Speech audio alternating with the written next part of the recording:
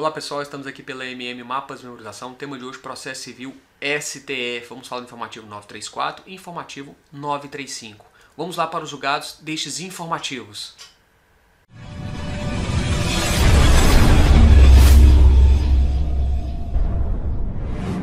Bom, pessoal, o que o STF decidiu aqui? Primeiro julgado, olha só, a ação rescisória. Para o STF é inadmissível a rescisória se houver previsão de outra ação ou de uma ação de natureza diversa. Então, se tem a previsão de uma ação de natureza diversa, é essa que você tem que usar e não a rescisória. Atenção, olha aqui que o STF pontuou. Contra decisão transitada em julgado, tá? Que apenas homologa, apenas homologa, pessoal, um acordo entre pessoa jurídica e Estado membro, contra essa decisão homologatória, você vai, ser, vai ter cabível ali ação anulatória, com base no artigo 966, parágrafo 4 do CPC. Perfeito?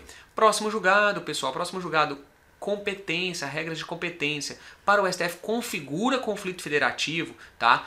A discussão entre União e Estado-membro em polos antagônicos que discutem os limites de competências, das competências, pessoal, estabelecido ali, prevista no artigo 177, inciso 4 e prevista no artigo 25, parágrafo 2 da Constituição Federal.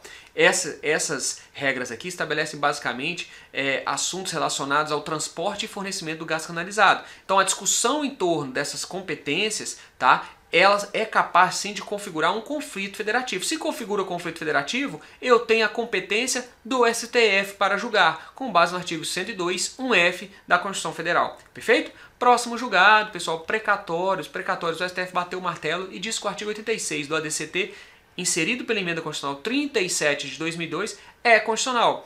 Esse artigo 86, ele estabelece uma regra de transição para, ali que o, para que o crédito contra a administração pública se enquadre em requisição de pequeno valor. Então essa regra de transição para o STF é constitucional. Esse julgado não é tão importante, mas está aqui posto para os senhores, perfeito? Bom, pessoal, esses foram os julgados relevantes, STF, processo civil. Se você gostou, compartilhe nosso vídeo.